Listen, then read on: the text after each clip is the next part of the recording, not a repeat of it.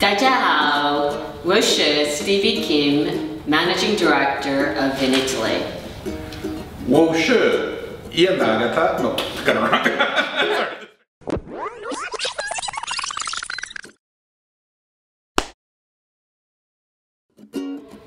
大家好，我是 Stevie Kim, Managing Director of In Italy International.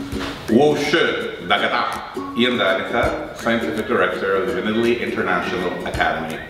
So hey Ian, you, would you like to tell us about our next trip to um, China with the Vinitaly International Academy certification course? Absolutely. We just finished our course in New York City and now we're headed to Shanghai and Beijing.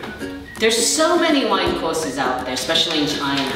Why is ours so special? Because I'm running it. No, all kidding aside, because I'm the author of this book, Native Wine Grapes of Italy.